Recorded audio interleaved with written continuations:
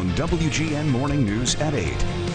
Good morning. Today is Play More Cards Day, and I thought, what a better way to celebrate than to have mentalist Sidney Friedman here, along with an audience full of boys from St. Rita High School. Now,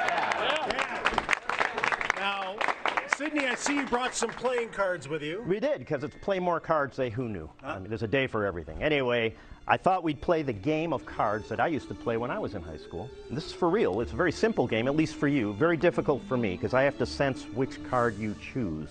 Okay? So here's what the game is. I'm going to turn my back. I'm going to close my eyes. There are no monitors over here. You guys can verify that. And this way I can't see what you're doing. But uh, each of you will take the pack of cards here. You will each choose one and you will put the card, the card you chose, you'll put it between both hands just like this here so that there's no way I can see it. You'll make a sandwich. You'll do the same thing. So one of you at a time. Go ahead. I'm going to turn my back. I'm going to close my eyes just like this here. I'm going to put my hands over my, my eyes there. Just like that. You guys make sure I can't see. Do it rather quickly. The card you choose, though, memorize it. Think of it in your mind. You must think of it in your mind. That's really important. Tell me when they're done, guys. Tell me when they're done. They've picked their cards. Beautiful. I'm going to turn around here. Make sure your fingers are closed. If they're open, I might be able to see it, okay?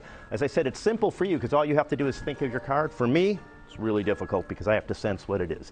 Concentrate on yours if you would. Just focus on it in your mind. Focus on it. Focus on it. Okay.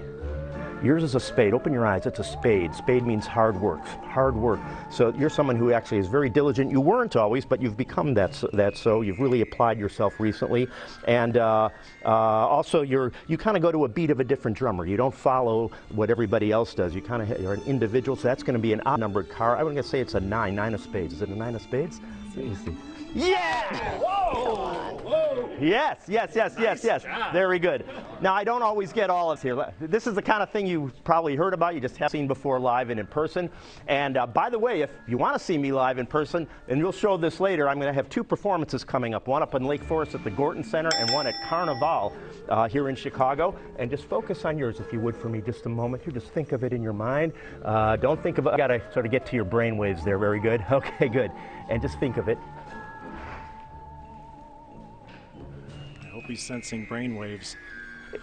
This guy's a lover. It's going to be a heart. It's going to be a heart. Um, very passionate guy. He does everything with passion. Uh, Queen of Hearts. Yeah!